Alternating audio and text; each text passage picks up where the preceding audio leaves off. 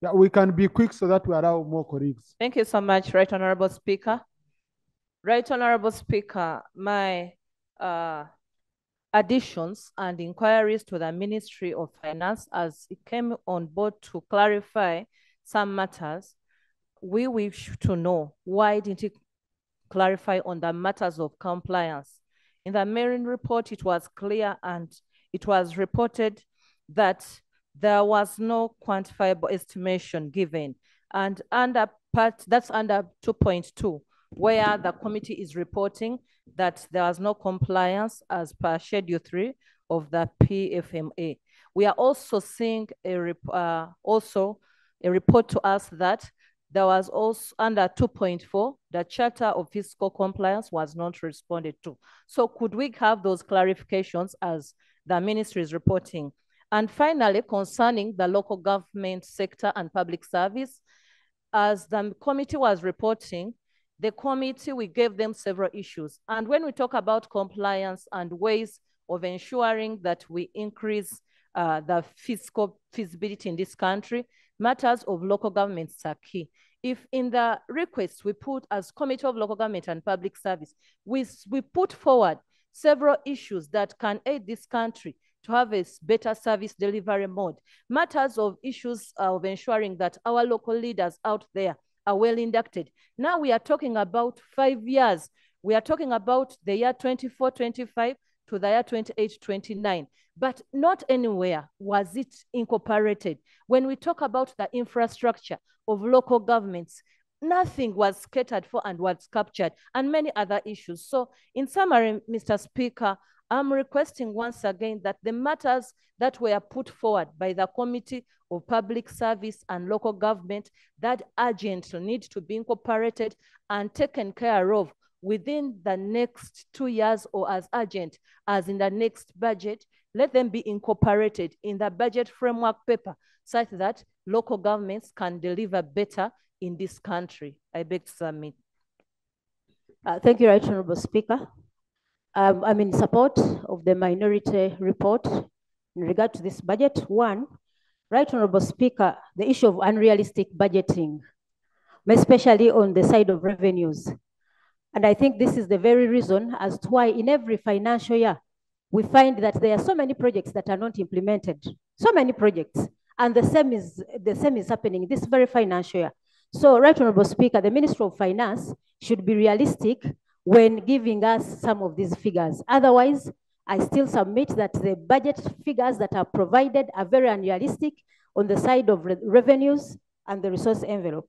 Right Honorable Speaker, the investment profile of this country.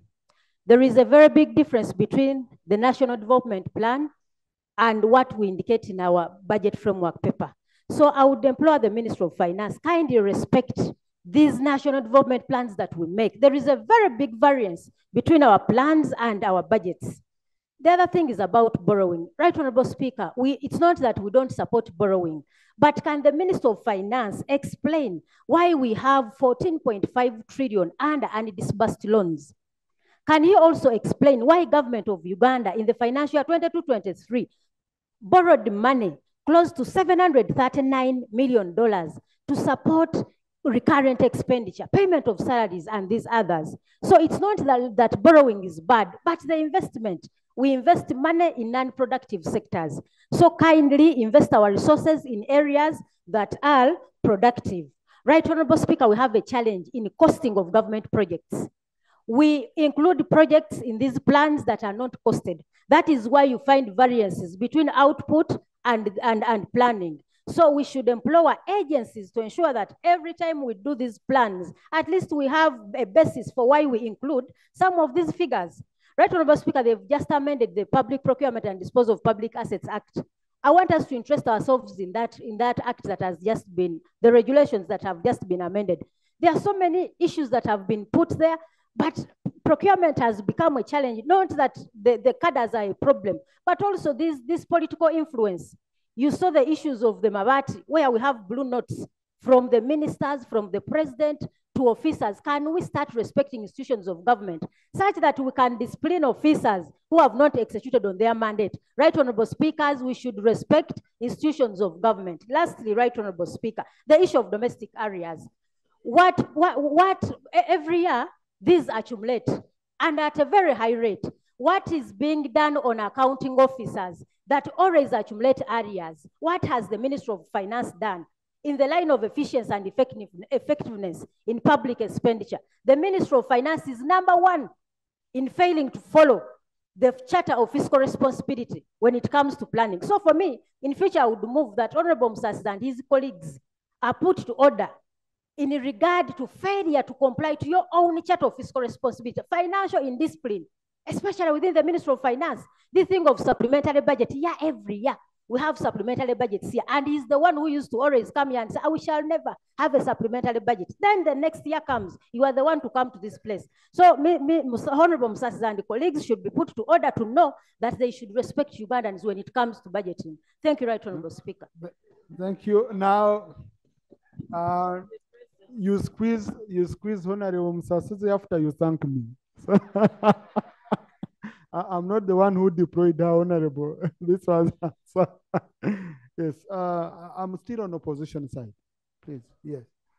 Uh, Honorable Mwijite, Honorable Chirumira, Honorable Aisha, Honorable Kupa, Honorable Mpuuga, Honorable Santa, Honorable Chivumbi. Thank you so much, Honorable Speaker. Right Honorable Speaker, we have praised the late Honorable Cecilia Ogwal for helping when we, we had situations of minority report and the majority by looking into both and getting out the best. This is not a time of competition between minority and majority. I have been here for some time. I hear us pass budgets, and when you go out there, whenever citizens' priorities are not seen, they don't bash the Ministry of, of Finance, they bash the members of parliament. They don't talk about the president, they don't talk about the minister, they say these MPs. You'll find other DCs on radio saying the MPs are not prioritizing agriculture. They're not prioritizing roads, and the minister will be happy in his home. So when we come, we talk about priorities, it is because we interact with the people down there. It is not because we are, we are government or we are, we are opposition. It is because we are representatives of members of parliament. Because how do I explain that I have a road that was pledged in 1989 and it is never worked on, but I am passing budgets every financial year? How do I go to where and explain that? Because the priorities are not being set by us parliament, they are being set somewhere, and for us, we, we have to just approve. And then when we go there, they say they are the appropriators. Even find a minister telling the, the public that it is these MPs that are the appropriators. So, Honorable Minister, please listen to us. It's not because we are against anybody. And that's why I would wish that we look at the minority report and the majority report and we get out the best for our people. It's not about the competition of the two ideas and the two reports. And that's why we were talking about Cecilia Ogwal. Now we have even forgotten about what, what she was doing here, even before an, uh, uh, a week. Of course, for you, a listening post. So I know you will not talk about UPDF. So, but the point I'm making is we are the eyes and ears of our people, and therefore let's look at these reports and get out the best for our people. And that's the point I'm making. Thank you very much, Mr. Speaker. Thank you, Honorable Honorable Chirumira. Thank you, Right Honorable Speaker. Right Honorable Speaker, one of the major goals of the BFP is to accelerate economic growth. And that is increasing the quantitative output of our country. My biggest concern is on the drivers of our economic growth. Because if you look on top of the list, we have the parish development model. And the big focus here is that they are telling us investing money in the parish development model will quickly transform our economy. And that's where I find the problem, especially when I go back to the seven pillars that we are given. Right now, the big focus is on two pillars, mindset change and uh, financial literacy. And that's how they are grouping people into circles. And the Ministry of Finance is telling us that the biggest driver of our economy and transforming the people of Uganda is parish development model. And that's where I want to differ that our level of investment into any sector should be dependent on the return to investment. We have so many options as a country where we could put money and get a better return to investment. And that's where we need to, to focus. There's a total mismatch in terms of investment expenditure and return to investment. And then the other issue, right, Honorable Speaker, I moved a minority report last year, and the focus was, was on these debts that we keep accumulating. My prayer was for the Ministry of Finance to provide the financing options at this particular stage, precisely indicating to us where is our country going to borrow money? What are the terms and conditions of these money lenders? Because if we do not do that at this stage, we're going to find ourselves in a position of the Amarok, the one that was rejected previously. We're going to find ourselves in a position of going to Standard Chartered, uh, that organized group of lenders that we are supposed to borrow money from. Our country paid money, expecting to get money, and the money never came. We suffered a loss as a country because we lacked planning. And that's why um, I'm urging government, when we are doing this budget process, especially at this stage, it, will, it is paramount for us to know the source of the money. It's true, we all agree that we have to borrow, because if you look at our budget, 22% has to be debt. But please be precise to the country. Tell us where are we going to borrow? What are the terms? What are the conditions of this money lender? So that we put ourselves in a better position running our country. Thank you, Right Honorable. Thank you, Honorable Aisha, then Honorable Cooper. Uh, thank you so much, Right Honorable Chair. I want to thank the Budget Committee. Right Honorable Speaker, I beg your pardon, for the two reports. Um, in relation to the conclusion, I, I speak in, on ground of the conclusion of the minority report, where I said that if the report cannot be thrown out because of the irregularities, then it should be amended accordingly. And that's the ground that informs my submission. Uh, Honorable Speaker, the minister was short of informing us, which was a question in the minority report, what led to the decreased revenue uh, expectations, where revenue collection increased even around time COVID period, but this time increase in revenue collection is significantly low. That answer was not submitted to us. Not to ever overemphasize, but just to amplify the need for getting the sources, sources of date. Uh, failure to submit sources of date is uh, supplying air because I am sure by this time, finance exactly knows where they are going to borrow this money from but they're not disclosing. Suppose they are they come and make proposals here and parliament rejects. So we need to know the sources.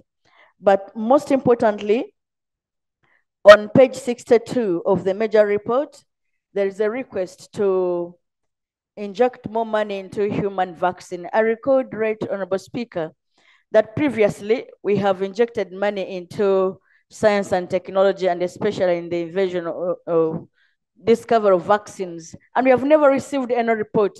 Year after year, we are putting money into vaccines. We have had even other countries have been able to come out with vaccines like COVID vaccines. Despite the monies that we put there, we've not been able to get anything. Uh, the report talks of retooling. I'm actually dismayed that the report talks of retooling external security uh, organization officers.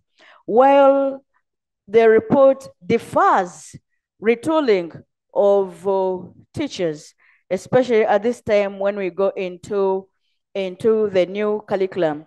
Right, Honorable Speaker, many of our teachers, especially those of us that come from rural areas, actually some teachers have given up because they say what they don't understand what they are teaching. Teachers have not been retooled, the new curriculum is on. Besides, the students are required to go and do their own research. But in schools, there is no electricity. In schools, there are no computers. We require that their parents will buy the laptops probably, but we know many parents are unable. Some internet, I'm told, is expensive. We know that. Some parents are risking giving their children phones to be able to do research, but we know all the risk of a phone to a child because they are tempted into going into social media. This budget does not speak to that. And um, right, Honorable Speaker, page 73, we talk about uh, solving. Yeah. As I conclude, let me conclude that point, just Oh. that point. But you've allocated yourself more time. You say, no, you can't switch on for more time before you're given permission. Let's conclude, Honorable.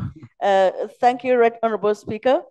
Um, the, page 73 talks about uh, helping the young, the being able to stop early, early pregnancies to girls. The report um, talks about the figures of girls that have become pregnant and say in order to address this, then they talk about skilling. These are two different things. The, the problem spoken about, the objective is different from the cure. When you talk about skilling the pregnant girls, that does not solve the girls solve the problem of other girls being pregnant. So I find the objective and the solution communicating two different things. Uh, thank you, Chair. I rest it at that. Thank you. Honorable Cooper, Honorable Mpuuga, Honorable Santa, Honorable Chifundi. And then again go back.